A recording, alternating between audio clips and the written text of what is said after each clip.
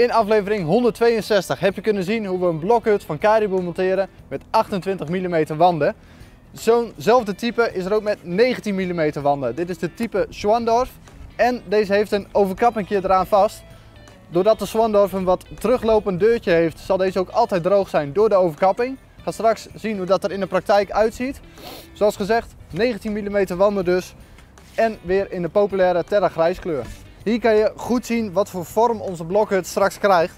Hier zal de deur komen en daardoor is hij mooi schuin weggevallen onder de overkapping.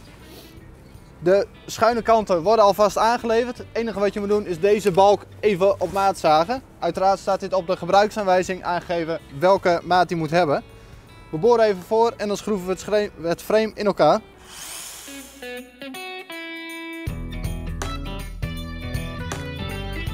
In deze aflevering 165 bouwen we zoals gezegd met 19 mm dikke wanden.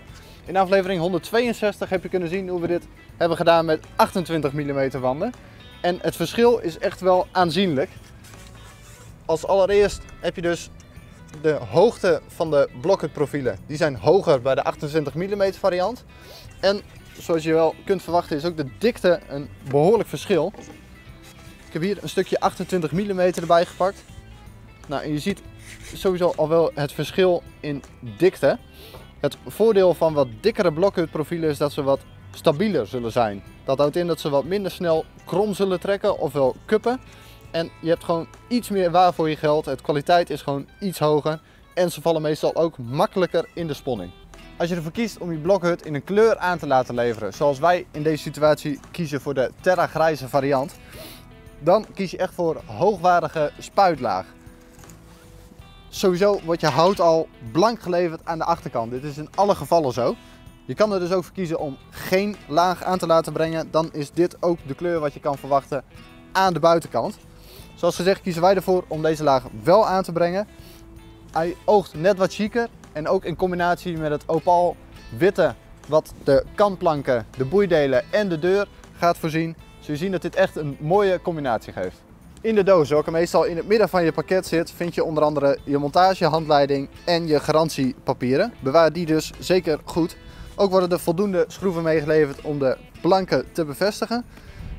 Het mooie logo van Caribou, welke je op je boeideel zal bevestigen. En uiteraard, worden scharnieren en hang- en sluitwerk gewoon meegeleverd. Om de juiste hoek te krijgen Vlak bij je deur zijn deze twee schuine latten meegeleverd. Die hebben al de juiste schuinte. Eventjes kort voorboren.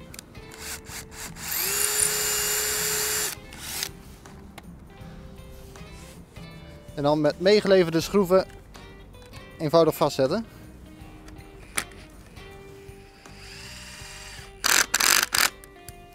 Die doen we op een paar punten verspreid over de balk.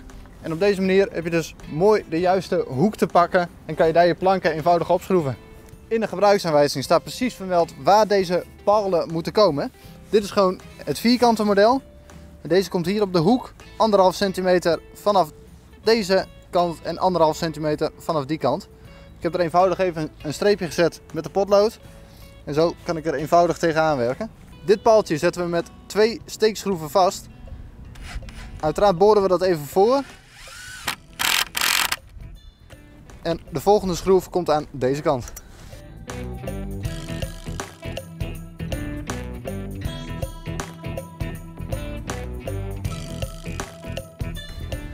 Zorg dat de schroefkop mooi in het hout verdwijnt. Dat hij mooi verzonken zit op deze manier. Hier zal namelijk een plank weer opkomen. En dan voorkom je dat hij voorover wordt gedrukt. Zoals je ziet heb ik hier even streepjes gezet met de potlood. En daar komt dan de paal voor tegenaan. Ook zorgen we dat deze naad, dat de twee paaltjes zijn immers op elkaar geschroefd, dat deze naad precies overeenkomt met de gleuf in de funderingsbalken.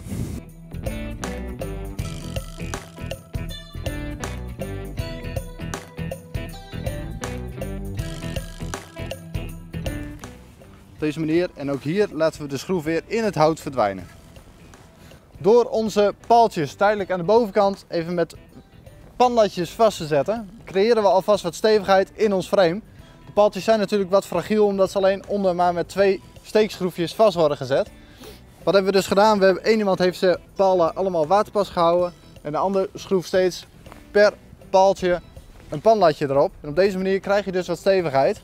Even opgelet, je kan er niet van uitgaan dat het ook zo blijft, want zoals je ziet zit er echt nog wel wat beweging in deze latten. Wil je dat oplossen? Dat kan je doen door helemaal schuin ook te gaan schoren. Dan haal je het meeste beweging eruit.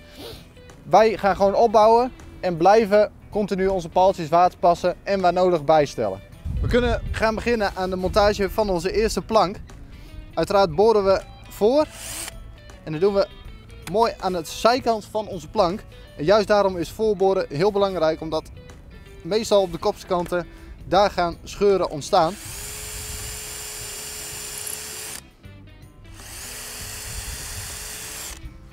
Elke plank wordt vastgezet met twee schroeven. Dat zal zorgen voor voldoende stevigheid.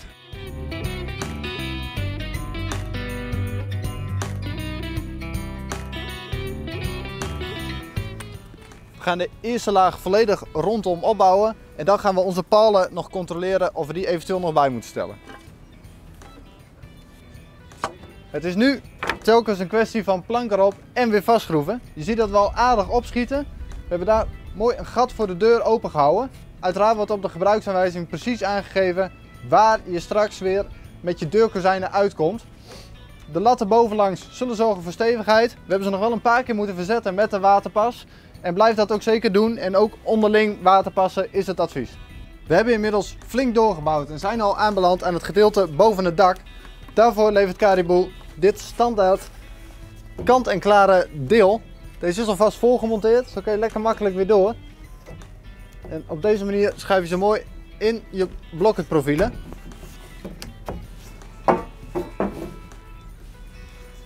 Op deze manier, zo zie je ook gelijk de doorloophoogte. Hier aan de zijkant komt nog één plank boven. Deze dienen we even op maat te zagen. Voor een goede afwatering leveren ze ook deze zijkanten met de juiste schuinte. Zo weet je zeker dat je water altijd aan de één kant zal aflopen. Ook aan de andere kant is een kleiner stukje meegeleverd, omdat je daar met de schuinte van de deur zit.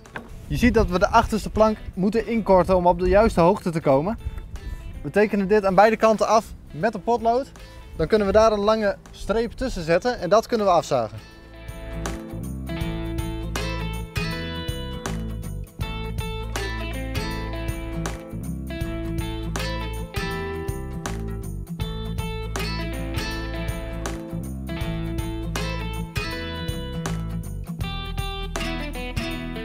In het midden van je wanden komen deze extra palen. Deze worden hier nog opgemonteerd.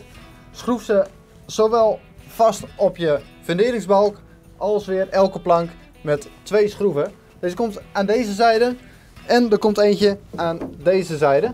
Uiteraard even mooi in midden aftekenen en daar de balk monteren. De dakbalken worden weer, net zoals je hebt kunnen zien in aflevering 87 en 162 van Gadero TV, worden deze gemaakt uit drie verschillende planken. Deze schroef je, schroef je op elkaar en dit zal zorgen voor stevige dakbalken. De palen zijn op de meeste plekken te lang. Dit kan je eenvoudig afzagen met een handzaag. Hou er wel even rekening mee dat deze kant ook schuin wegloopt. En ook aan de andere kant. Als je namelijk rechtaf gaat zagen, zul je hierin gaan zagen en dat is zonde. We hebben met twee man de deur er even voorgehouden en afgetekend waar onze scharnieren moeten komen. En als je die goed hebt geplaatst, de deur er eenvoudig in hangen. We hebben overal mooi wat ruimte voor werking van de deur overgelaten. Helemaal rondom een paar millimeter is voldoende. En zoals je ziet gaat hij mooi open en dicht. We gaan nu beginnen met ons aanbouw eraan vastmaken. Die doen we die kant op. Dan kunnen we de dakplaten erop leggen en de dakbedekking. Zoals je ziet hebben we flink doorgebouwd. We hebben inmiddels onze aanbouw ook al gemonteerd. Deze dien je vast te maken aan de eerder uitstekende dakbalken. En aan deze kant komt hij eenvoudig met een L-vormig hoekje gemonteerd op deze wand. Aan deze kant hebben we twee palen zoals je ziet. Deze zijn mooi in dezelfde kleur als bijvoorbeeld je deur en je deurkozijn. Het zijn palen die al een inkeping hebben voor deze draagbalk. En ook deze draagbalk zal deze dakbalken mooi ondersteunen. Je krijgt een mooi stevig geheel. Hier komen straks onze dakplaten op en dan gaan we het bekleden met Easy Roofing. Even opgelet, er zijn twee formaten van overkappingen. We maken hier gebruik van een 2 meter 40 variant, maar er is ook een 2 meter 80 variant. Dan heb je dus 40 centimeter langer. Elke overkapping heeft zijn eigen dakgootset, dus let daar even op dat je de juiste dakgootset bij de juiste overkapping mee bestelt. We zijn inmiddels een dag verder en zijn flink opgeschoten met deze blokhut inclusief overkapping. Wat ik nog vergeten te melden ben is dat hij zeker ook in spiegelbeeld opgebouwd kan worden, maar ook zonder overkapping, zodat je echt een mooi hoekmodel blokhut hebt. Het dakbedekking is gemaakt van in eerste instantie platen van hout en daarbovenop hebben we easy roofing gemonteerd en dat heb je kunnen zien in eerdere afleveringen. Even opgelet, deze platen zijn niet bestand tegen vocht. Ga je dus opbouwen en het regent wat of het miezert, wacht dan met de platen totdat het echt 100% droog is. Als je namelijk vocht intrekt, dan kan je je dakbedekking daarna niet monteren. Zoals je ziet is deze overkapping gewoon een verlengstuk van de dakbalk van de blokhut. En die worden gekoppeld met meegeleverde plankjes die je vanaf de achterkant erop schroeft. Zoals je ziet wordt er aan de achterkant geen boeideel gemonteerd. Hier heb je nog de mogelijkheid om te kiezen voor de extra optie dakgootset, zoals ik eerder heb vermeld. Wel even opletten welke maat overkapping je hebt. Zoals je ziet heb je aan de binnenkant van dit type blokhut flink wat ruimte om je grasmaai kwijt te kunnen en eventueel wat gereedschap of speelgoed van de kinderen. Hij is minder geschikt als fietsenschuurtje en dat komt met name door de schuin weglopende kant. Waardoor je fietsen wat moeilijk erin krijgt als er in de hoek bijvoorbeeld ook nog iets geplaatst staat. Indien gewenst kan je je deur nog afsluiten met een hangslot. Deze heb je uiteraard in vele veiligheidsklasses. Informeer dus even voordat je deze aanschaft. Hiermee zijn we ook gelijk aan het einde gekomen van aflevering 165. Ben je nou benieuwd naar dit type blokhut? Bekijk dan zeker gadero.nl tv en klik op aflevering 165.